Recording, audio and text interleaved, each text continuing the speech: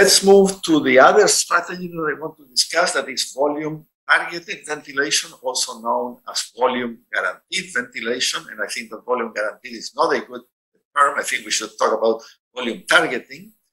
Uh, and essentially, what volume targeting is, is that you give the ventilator the responsibility for adjusting the pressures, the inspiratory pressures, to maintain or to deliver a tidal volume that you set.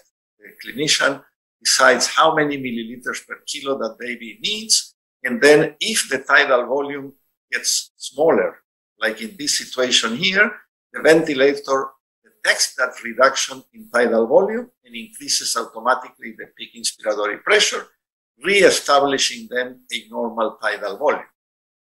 More important than this function, I think, is the fact that when you are using volume targeted ventilation, the ventilator also will reduce the peak inspiratory pressure if the baby is able to generate the tidal volume with his own respiratory effort. So here we switch from pressure limited ventilation to volume targeted ventilation at this point, and you see how the tidal volume gets more stable and the peak inspiratory pressure that is required to generate this tidal volume is substantially lower than what we were giving to this baby when he was on pressure limited ventilation. So volume targeted ventilation provides a automated weaning of peak inspiratory pressure as the baby improves his lung compliance and improves his respiratory effort. Uh, there, is, uh, there are several studies where uh, uh, these two modalities, controlled ventilation, pressure limited, and Uh, volume targeted ventilation have been compared in uh, uh premature infants.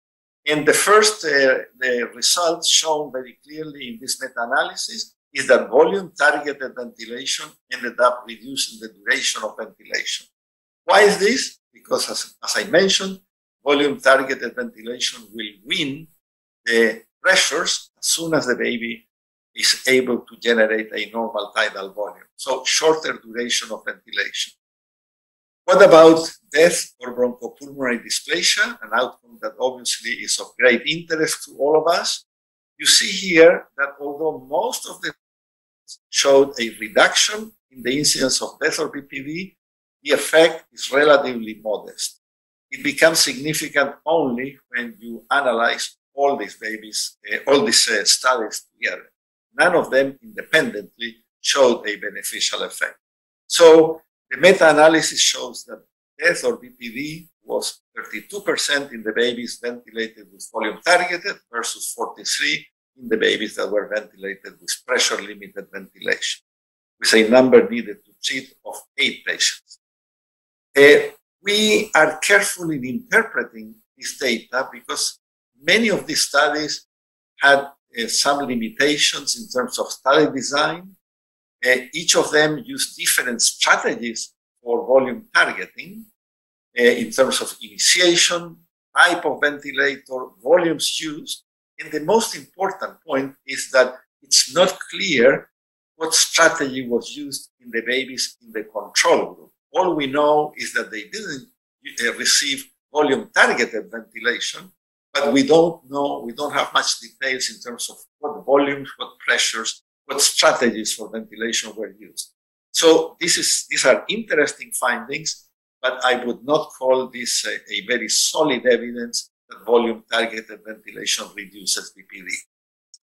The other effect of volume targeted ventilation is shown in this trace in one of our patients when we go again from pressure limited ventilation to volume targeted ventilation. And this is a trace of pulse oximetry with uh, uh, saturations and heart rate. And you can see very clearly that this baby is having lots of fluctuations in saturation, like most of our patients when they, when they are on mechanical ventilation. And we can see that these oscillations continue on volume targeted ventilation, but the severity of the desaturations is significantly less.